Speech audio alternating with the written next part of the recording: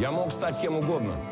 Музыкантом, ресторатором, ведущим, продюсером, мужем, отцом. И стал, потому что всегда был свободным. Альфа-банк для умных и свободных. Короче говоря, 500 километров пешком.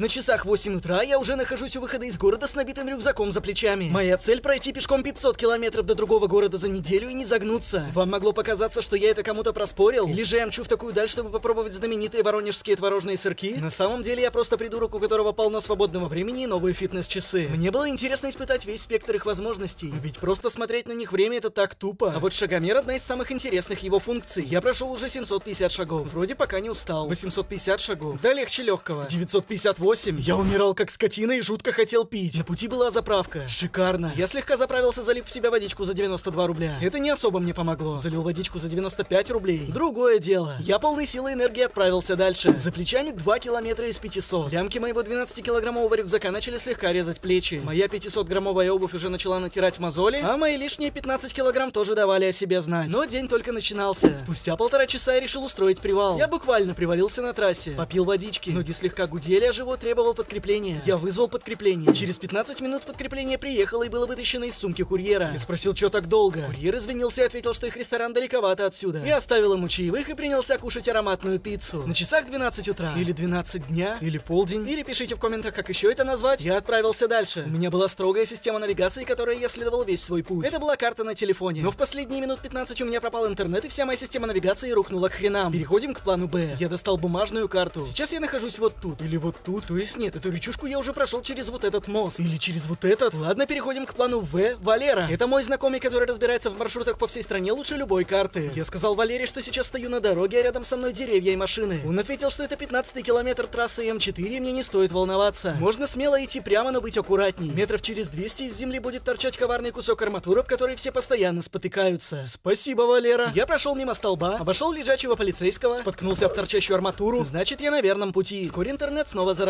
Я подрубил наушники и включил музыку, под которую удобно идти 500 километров. Вскоре наступил вечер. За этот день я прошел 52 километра, и мои ноги отказывались идти дальше. А еще мне дико хотелось спать. Пора устроить ночлег. Я отошел подальше от дороги и стал искать знак места отдыха. Но мне попадались только знаки места работы, места каторжного труда и места встречи изменить нельзя. Надо скорее ложиться, иначе я совсем не отдохну и завтра не смогу идти дальше. Сначала я достал палатку. Но как же я ошибался? Это не я достал палатку, а палатка достала меня. Эти длинные палки никак не вставлялись в палатку, колышки все время вылетали из земли, а молнии на палатке постоянно заклинивало. Кстати, о молниях. Началась гроза и закапал мелкий дождик. Я попытался уснуть в этой косо-криво поставленной палатке. Но здесь было холодно. Я надел куртку, штаны. Идеальненько. И тут мне стало страшно, потому что я всю жизнь боялся подкроватного монстра. Ну, в данном случае подпалатного. Пришлось спрятать вторую ногу под покрывалом, чтобы монстр меня не достал. Я проснулся утром следующего дня. Слышал щебетание птичек, звуки природы и лесных массивов. Вырубил будильник с этими звуками, и мои уши тут же наполнились шумом дороги. Вырубил второй будильник. Тишина. Я переоделся обратно и вылез из палатки. Мне побаливали ноги, а мозоли не позволяли быстро ходить. Я заклеил ступни пластырями. Собрал палатку и поплелся дальше. Впереди меня ожидает еще 440 километров нескончаемого шоссе. Тут я подумал, что это попросту невозможно. Ну как можно было быть таким наивным? Почему в детстве я верил, что если съесть семечко от арбуза, то в животе вырастет арбуз? Я поставил телефон на зарядку от павербанка и открыл навигатор. Оказалось, что скоро моя дорога будет проходить через лес. Вот это было стрёмно. А если я заблужусь? Или меня сожрет медведь? Ну, хоть какое-то разнообразие. Я пошел в лесную чащу и увидел грибочек. Теперь с голода точно не помру, а помру от отравления. Я стал помечать деревья, чтобы не начать ходить по кругу. В итоге заблудился в трех соснах. Однако Валера быстро все исправил, и к вечеру я выбрался из леса. За спиной 112 километров или же 160 тысяч шагов. Да для такого результата надо быть мастером спорта. Пора найти место для второго ночлега. Может попробовать переночевать в придорожном мотеле? Дошел до какого-то мотеля. Но у него было всего 4 звезды. Не, в таком отстое останавливаться я не собираюсь. Прошел еще несколько километров и добрался до другого мотеля. Но тут было 3 звезды. Я вернулся в предыдущее место. Однако здесь уже все было занято. Вот же блин, мне уже было настолько хреново, что я заночевал прямо на автобусной остановке.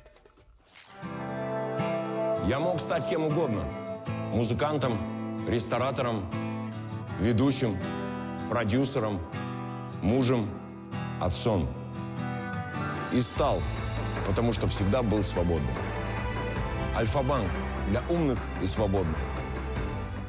Прошло 12 часов. Я уже вовсю двигался к своей цели. Ноги ужасно болели, но я старался не думать об этом. Кости сильно ломило, а Андрея сильно сводило. Какое-то время я даже шел на руках, но это было не особо эффективно. Ведь таким образом я прошел всего 5 километров за 15 минут. Вскоре вдалеке перед собой я заметил какого-то чувака, который шел пешком так же, как и я. Вот это интересно. Я догнал его и поздоровался. Он активно поздоровался со мной и прибавил, что сегодня отличный день для того, чтобы пройти 230 километров. Я офигел. Спросил, кто он такой и куда держит свой путь. Он ответил, что его зовут Анатолий, и сейчас он держит путь к мировому рекорду. Уже почти полгода он в пути от Владивостока до Брянска, и ему осталось пройти совсем немного. К этой цели он шел с самого детства и упорно тренировался, чтобы сейчас воплотить ее в реальность. Нифига себе. А я-то думал, что это я просто придурок, у которого полно свободного времени и новые фитнес-часы. Анатолий шел очень быстро, потому что его время было ограничено, и я едва за ним поспевал. Попросил у него пару советов для начинающего путешественника. Итак, первое, всегда идти при условии попутного северо-восточного ветра и тщательно следить за азимутальным направлением. И второе, кушать только легкую пищу, которая дает много энергии. Вот это реально опытный чел. Я пожелал ему успешно достичь рекорда и в качестве благодарности вручил ему пару жирных куриных крылышек. Анатолий ужасно обрадовался и принялся кушать прямо на ходу. Из-за этого сбился со своего азимутального направления, провалился в канаву и сильно подвернул ногу. Вот жесть! Анатолий никак не мог оттуда выбраться, и его пищеварительная система не выдержала и началась сильная диарея. Ну как же он мог так все просрать? Он стал орать на меня, потому что я разрушил мечту всей его жизни, и он уже не успеет дойти в нужное место к сроку. Я тут же вызвал скорую, затем убедился, что Анатолия вытащили из канавы и отправился дальше в свой путь. Наступил четвертый день. Этой ночью я почти не останавливался и шел через лес, чтобы успеть наверстать упущенное. Ноги уже нифига не гнулись, поэтому я шел слегка прихрамывая. Однако за спиной почти 300 километров. По-моему, шикарный результат. Сегодня я останавливался на каждой заправке и сидел там по полчаса, разминая конечности. Кушал я только самую легкую пищу, которая дает много энергии. Пошел пятый день в пути. Я понял, что моим ступням пришел трендец, так что мне срочно нужно сменить обувь. Поэтому вскоре я вышел из какого-то магаза в своих новых валенках. Не спрашивайте, как я умудрился найти магазин с валенками осенью на пустынной трассе. Но так и правда было намного лучше. Далее мой путь снова будет лежать через лес. Обожаю это, ведь там хоть солнце печет не так сильно. Я вошел вглубь леса. На сей раз не стал брезговать и полакомился местными грибочками. Надеюсь, в этом лесу нет диких животных. И тут я услышал шелест листвы. Надеюсь, это не волк. Затем я услышал низкий раскатистый рык. Надеюсь, это не волк. И наконец из-за деревьев вышел волк. Надеюсь, это не волк. Я протер глаза. Охренеть, твою ж мать, это настоящий волк! Я стал убегать. Он побежал за мной. Мы долго бежали. Я прыгал через пеньки, прятался за толстыми деревьями и использовал тактику древневосточных ниндзя. Притворился мертвым. Вскоре волк подошел ко мне вплотную и принялся обнюхивать. Должно быть, он учуял запах мандаринов у меня в кармане. А вот хрен ему. В итоге волк поел хрен, а я ничего не поел. Мы станцевали тектоник и отправились по лесу дальше. Теперь я ничего не боюсь такой охраны. Вскоре мы дошли до окраины леса, и тут грибы наконец отпустили меня. Удачи тебе, брат. Пошел шестой день. У меня уже ничего не болело, а глаза блестели от энтузиазма. Мною пройдено 405 километров. Неужели скоро я доберусь до своей цели? Даже как-то не верится. По картам показывало, что дальше путь будет чисто по прямой вдоль дороги, так что даже нет смысла на нее смотреть. Сегодня я много и вкусно кушал, а также регулярно делал приседания, чтобы немножко размять ноги. И вот наступил последний седьмой день. Уже вечером этого дня я должен дойти до Воронежа. Сердце билось очень часто, и я был безумно замотивирован. Надеюсь, что все пройдет как по маслу. Оставалось 12 километров, 7 километричков, 2 километрюсечка. И вот, наконец, я добрался до славного города Воронеж. Я был безумно рад. Оставалось только одно, узнать, сколько же шагов я преодолел за эту неделю. Я специально не смотрел на шагомер последние дней 5, чтобы сохранилась интрига. Но мои часы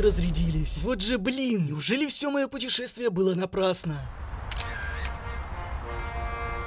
Добрый вечер, Анатолий. Мы рады приветствовать вас в славном городе Брянск и хотели бы поздравить вас с установлением нового мирового рекорда, а также вручить вам этот сертификат.